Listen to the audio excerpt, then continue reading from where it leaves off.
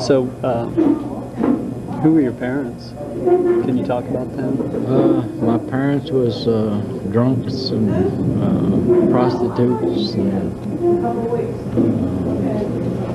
Y- Your mother was a prostitute. so actually, you know, talking about them is like talking about uh, a nightmare. Really? You sound like you had some good memories of childhood there. Well, I did with my brother, you know, when we played or something like that. We always had a good time. Our lives, as far as growing up, is, uh, I guess you say, the way other child or other children grow up uh, was different. Were you abused or just? Uh, I was abused. I was uh, dressed as a girl for about seven years of my life by who? by my mother. I had to wear a dress. I had to wear long hair. I was treated as a girl, you know. So, She wanted a daughter, or what happened? that's my opinion, you know. I don't know why she did it, but that's that's what I feel. Where's your father?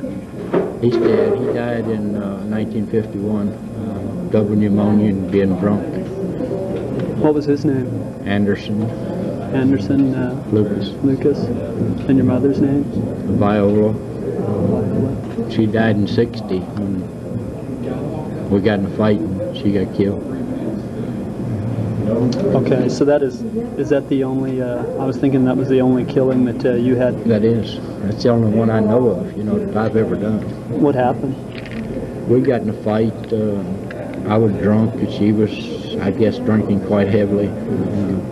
She come home uh, where I was living at and she started beating me in the head with a broom hat on. And that's the last I remember, you know. I just uh, went out and she ended up dead. You know. How did she? How had she died? They say she died from a stab wound, you know, uh, somewhere in the neck, neck. So I don't know.